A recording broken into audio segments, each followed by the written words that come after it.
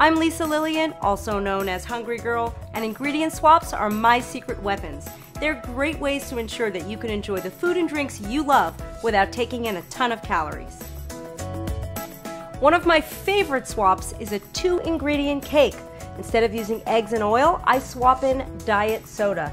It is so easy. You just mix a can of diet soda in with a box of cake mix, Throw that in the oven at 350 degrees, according to box directions, and the result is a fluffy, delicious cake with half the calories. Now you can do this with so many flavor combinations. My favorite is chocolate cake and diet cola, but white cake and diet cream soda works great, yellow cake and diet orange soda is fantastic. Oh, your whole family will love it. Smart swapping with no and low calorie ingredients is a great way to manage your weight. Just swap your way to satisfaction.